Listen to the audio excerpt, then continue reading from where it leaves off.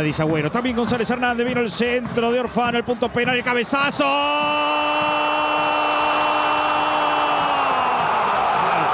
Cara.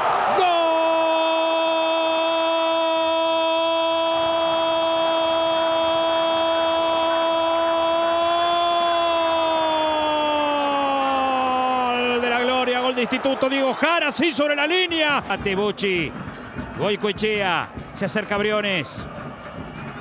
Briones la mete en el área, va para Ramón, el arquero rebote, gol. Rodríguez. Gol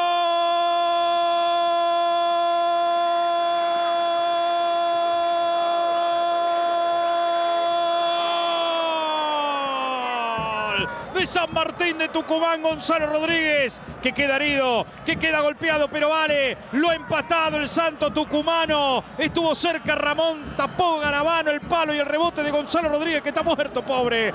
No lo pudo ni gritar siquiera. 25 del segundo tiempo se veía venir, lo empató el Santo 1-1 el partido. Más que loable la búsqueda de San Martín de Tucumán.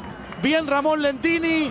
Llega Gonzalo Rodríguez y le meten una patada entre las piernas. No lo puede festejar. Sí lo festeja el pueblo.